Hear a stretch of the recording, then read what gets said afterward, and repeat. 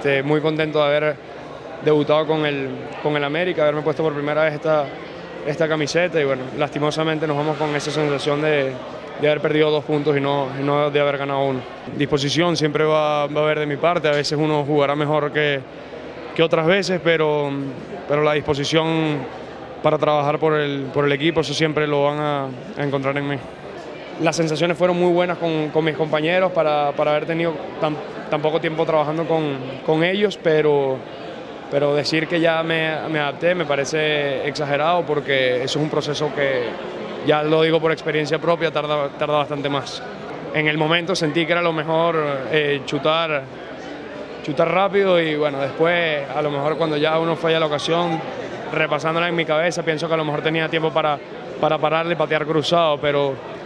son cosas que suceden en fracciones de segundo y que uno, que uno juzga que,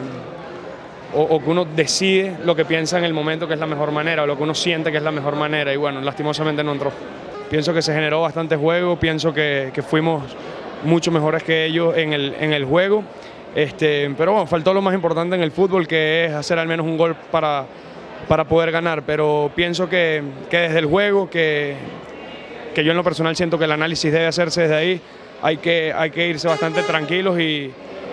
contentos porque, porque logramos plasmar en la cancha lo que, lo que se viene trabajando.